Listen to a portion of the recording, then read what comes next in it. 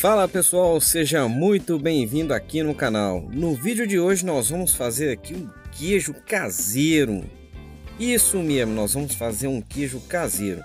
E eu, como um bom mineiro, não posso deixar faltar um queijinho na mesa. E esse queijo não dá muito trabalho para fazer, rapidinho você faz. E eu tenho certeza que você vai gostar de fazer um queijinho desse aqui para tomar com um cafezinho logo de manhã cedo. Então, vamos lá, vamos sentar o pau, vamos fazer esse queijinho aí e anota aí os ingredientes que nós vamos precisar. Bom, primeiramente nós vamos colocar aqui pelo menos umas duas xícaras e meia de amido de milho, né, ou maisena. Nós vamos colocar aqui na panela com ele desligado. Depois que nós colocar aqui o amido de milho, nós vamos colocar aqui meia caixa de leite, ou seja, meio litro de leite. Isso ainda com o fogo desligado. Depois que eu coloquei aqui o leite, o que, que nós vamos fazer? Nós vamos misturar e vamos dissolver totalmente esse amido de milho. Depois que dissolver tudo, ó, vamos mexer bastante, tem que dissolver tudo, mas com fogo desligado, tá? Depois que a gente mexeu, já dissolveu tudo, o que, que nós vamos fazer? Nós vamos colocar aqui 3 colheres cheias de margarina ou manteiga e também vamos misturar para dissolver.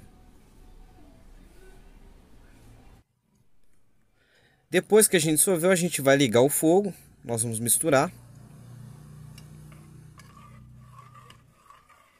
Nós vamos misturar com fogo baixo. Na hora que dissolver totalmente aqui no fogo, a gente vai acrescentar o restante do leite, o outro meio litro de leite.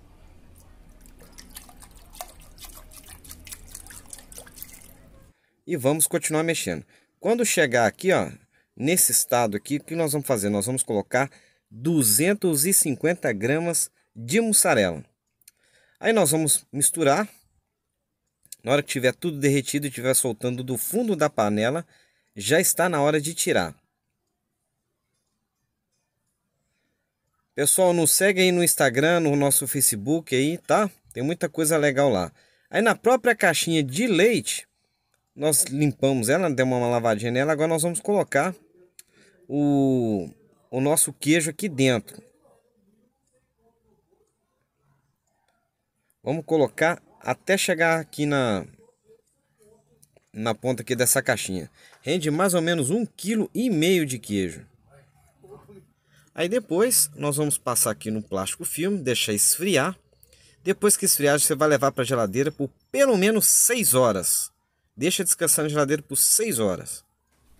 Depois de 6 horas nós tiramos da caixinha. Agora é aquela hora que a gente mais gosta, que é a hora de degustar esse maravilhoso queijinho com um cafezinho novinho. Aí para você que é mineiro aí, se quiser deixar nos comentários de qual região que você é, você deixa aí nos comentários que eu vou mandar um forte abraço para você, tá bom? E vou pedir para vocês clicarem no link aqui embaixo para vocês adquirirem as maquininhas da Mercado Pago com o nosso link de afiliado tá bom?